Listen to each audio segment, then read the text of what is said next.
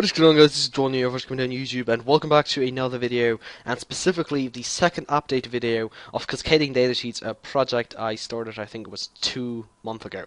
Yeah guys, so this project was meant as kind of an alternative way of storing data and accessing that data and it's very very efficient now and I've worked on it for so long. Past couple of days I finally got to continue working on this project and it's really at a stage now where I think it's very, very useful, and where I will definitely use this for a lot of my projects as well. Now, why? Okay, so simply because I have improved the coding a lot. Okay, so you have new classes now, and I know I haven't added any sort of methods, but basically I've improved the coding so that the performance is now very, very great. So it's now extending, really. Now I can give you a quick example. Let's say you have a cascading data sheet. Maybe online, maybe locally. It doesn't make any difference, okay? Just, you know, that you need to retrieve it, the online data sheet first, but you also need to retrieve the local data sheet as well. So uh, it doesn't really make that much of a difference.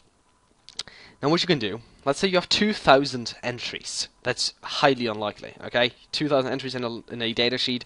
I mean, at some point you would use databases because of course they are way easier to maintain and everything. So um, this is definitely not meant for huge projects which have over 2,000 data sets or something. But let's say you have 2,000 entries, okay? Um, then you can use something called the stopwatch class in the system.diagnostics namespace, which basically calculates how long it takes in milliseconds to, or just you know seconds maybe, um, to get from one method to like the end. So basically, it calculates how long it takes to call that method and until it's completed. So specifically, you can you ca could start the stopwatch right here. We can stopwatch. Uh, we can stop the stopwatch right here, and then we can basically um, display how long it took in milliseconds. That's what we can do. So all of these methods method calls you can see right here are basically referring to these attributes. Now I do want to mention that I'm not going to be doing a tutorial today.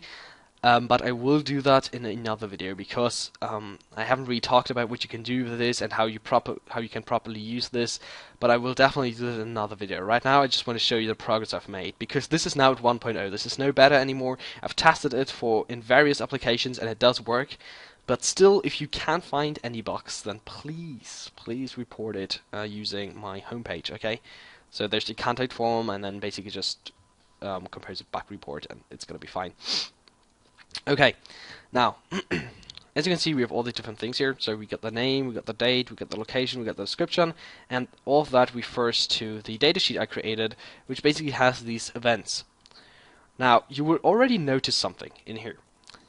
You can see that right here we have a kind of a new header thingy, which basically says auto increment equals true, and we don't have to specify an ID anymore. That is extremely handy. So what this means is that you no longer have to add the ID attribute manually and then change that ID manually all the time. Now you can let the Cascading Datasheet library do that for you, so it will just automatically create the IDs for you. So this will have ID 1, this will have ID 2, and this will have ID 3. Very, very simple to do. Alright, so this does not require any sort of attribute you have to add in here. And you couldn't do that previously. So I added that in because I felt it was really stupid. Alright. So now as you can see we got four attributes. We got the name of the event, we got the date, and we got the location and the description. And as you can see right here, I had some problems with retrieving the values, so basically it was cutting something from these values, and now it's way way more efficient to retrieve these values because I no longer have to rely on certain let's say I'm, I don't want to talk too in depth about this, but uh, I no longer have to rely on certain string occurrences, so that's very, very handy. Alright, now, if you want to retrieve all of that, it does require four lines of code because we have four values. Now, this is extremely simple as you can see. What I'm doing here simply is because I have this form set up, I got this name, uh, the state time picker and I'm basically just converting the date which I'm retrieving from the datasheet and I'm basically parsing this as a date time okay? So I can use this in the date time picker value property. That basically means that I just you know display that in a date time format right here which is fairly handy. And yeah so that's all I'm doing here. Now you will probably have noticed already that I have two different classes now. So I no longer have one class which has two different constructors, and I have come uh, two different classes. So one online datasheet and one local datasheet.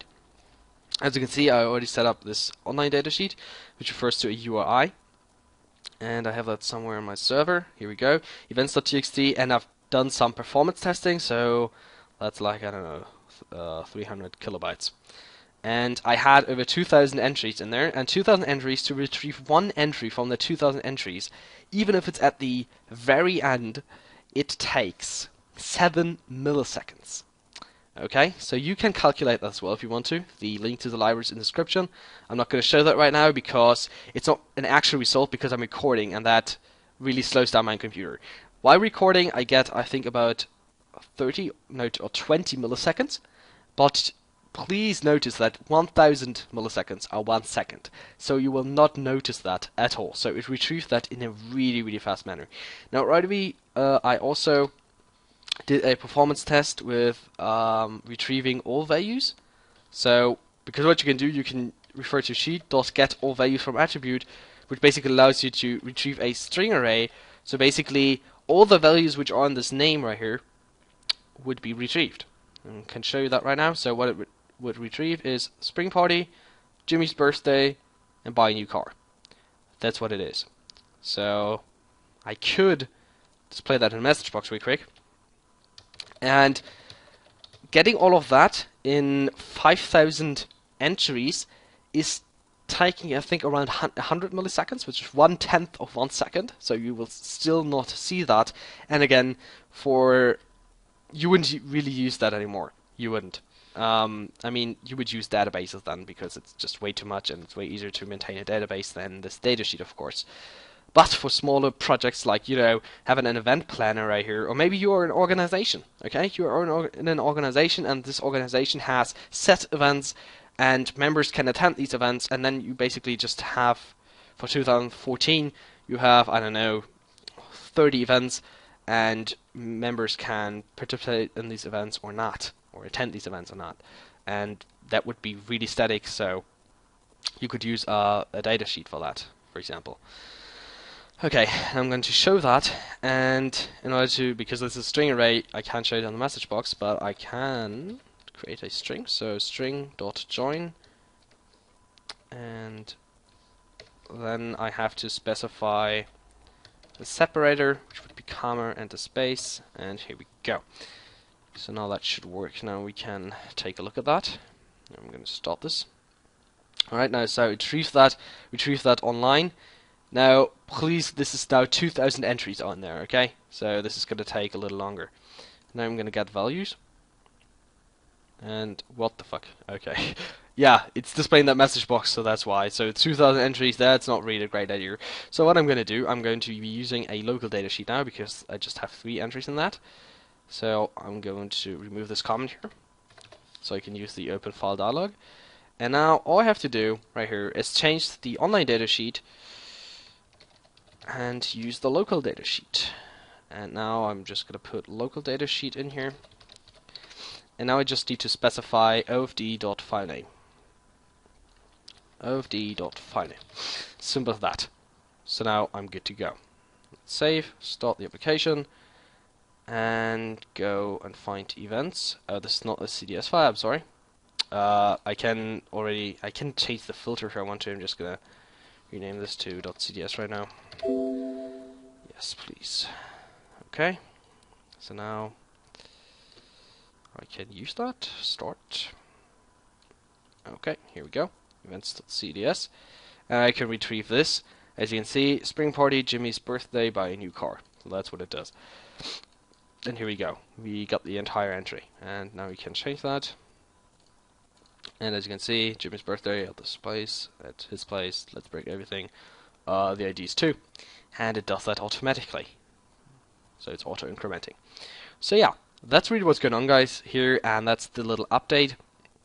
Um, so that's really really handy now and I will do a tutorial video pretty soon. I'm going to show you how to build a really simple application now, I can quickly show you what this application would look like. So I'm just going to change this to new CDS beta form. because I've built like a little test application. I also have the performance test there, so now I have to open the cascading datasheet, which is now then again a text file. So I'm sorry for that changing that here. Okay, yes, and then let's go back here, start that. Okay, find the events, here we go. And we can see we have this little test application, so we can get one specific entry, as you can see, very, very fast. And we can get that entry. Now we can also do a performance test. So it takes zero milliseconds because it's just three entries, so you can see it's very, very fast if it just takes three uh, milliseconds. Um, now, getting everything takes also zero milliseconds because it's just three entries, really, it's nothing. But now we can also get all. And you can see we have this little data list, and if we change that, it changes in our CDS beta form. So I can show you how to build this little test application. So I will basically explain to you how you can interact with the cascading data sheets.